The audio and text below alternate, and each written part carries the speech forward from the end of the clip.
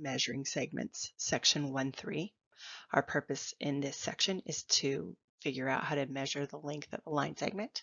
We're going to do that by using the ruler postulate and the segment addition postulate by differentiating between congruent se segments and equal distances. So here we have postulate 1-5, which is the ruler postulate.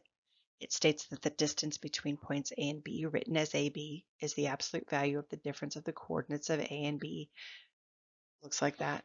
What does that mean? Well, it means that since A is at negative 2 and B is at 4, you take the difference between them, and whatever that number is, you take its absolute value. So in this case, negative 2 minus 4 is negative 6, but its absolute value is positive 6. 4 minus negative 2 is positive 6. Its absolute value is positive 6. So note it didn't matter which way I put the point in, it came out to the same answer. A thought to add to this idea of distance is that if you drive backwards, do you identify as going a negative distance? You don't. You'd still list it as positive. So distances are always a positive number. And so we always take the absolute value. Congruent segments are simply line segments that have the same length. Congruent line segments are usually indicated by drawing the same amount of little tick marks in the middle of the segments, perpendicular to the segments. So notice this has two tick marks perpendicular to AB, and this has two tick marks perpendicular to CD. Because they both have two tick marks, it indicates that they are congruent. So segment AB is congruent to segment CD. Notice this is the congruence symbol. It has an equal sign in it because we are talking about segments that are the same amount. Using the number line above, answer the following questions. So how long is AB? Well, AB, you count the units. This is one unit. That's the space between the tick marks two units, three units, four units. So AB is four units long. And what about BA? Well, as we remember from the previous um, instruction, AB and BA are the same segment, so they better have the same length, so they're both four. BC, let's count those. It's one, two, three, four. So BC is length four. And since BC and AB have the same length, their segments are considered congruent. So A segment AB is congruent to segment BC. Now, if BE were to, is to equal to, where is point E located on the number line? Well, where would point E have to be? So if I'm at B and I go two units, there's one, two. That looks like it lands me at three. But what if I go the other direction? I go one, two.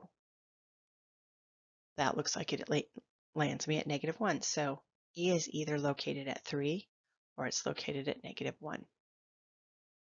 It's your turn.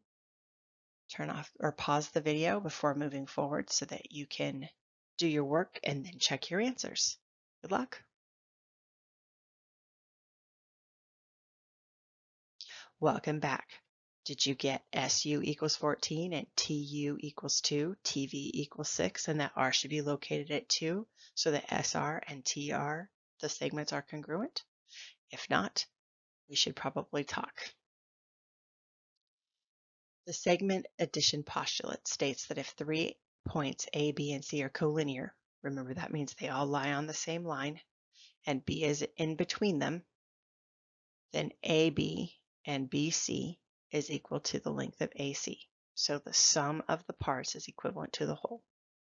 So looking here at this figure here on the left, FE plus ED is equal to the length of FD. That gives me the following equation. Negative 12 plus 2x plus x minus 8 equals 10. So I'm going to combine my like terms. I'm going to put my x's together and my numbers together on the left side, which produces 3x minus 20, still equal to 10. And I'm going to move that 20 to the other side by adding it to both sides. Makes it go away on the left and makes it appear on the right. So that gives me 3x equals 30. And then I'm going to divide both sides by 3.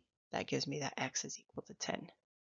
Looking over here at my diagram on the right, I'm looking at PQ plus QR equals PR, which is the length of this blue segment right here. That gives me the following equation. 3 plus 2x plus 22 equals x plus 17. I would combine my like terms. That gives me 2x plus 25 equals x plus 17. Then I would subtract x from both sides so I can get my x's together. That gives me x plus 25 equals 17. Then I would subtract that 25 so I can get x alone. That's going to give me x equals negative 8. It is your turn. Give it a shot. Pause this video.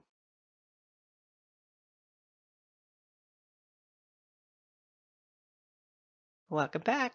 Did you get x equals 4? If not, we probably need to look at your math. Comparing segments.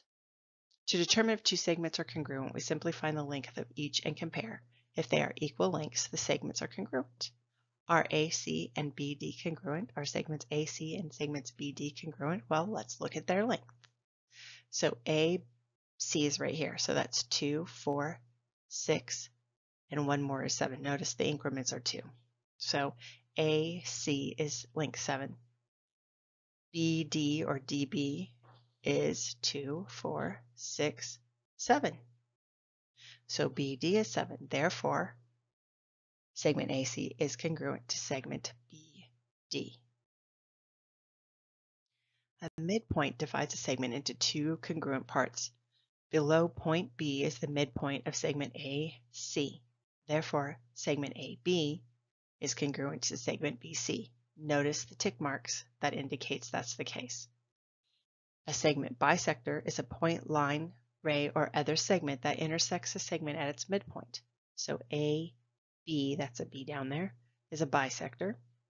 It bisects the segment PQ. Since it cuts it in half, PF is congruent to FQ. Using the given information, find the missing variable for the line below. Q is the midpoint of PR, so I know that PQ and QR are the same length. That gives me the following equation, 6x minus 7 equals 5x plus 1. So to solve for x, I would move all of my variables to the one side.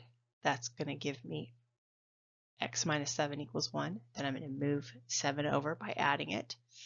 That's going to give me x equals 8. Looking at this diagram right here, U is the midpoint of TV. Tell me what x is. Pause your video.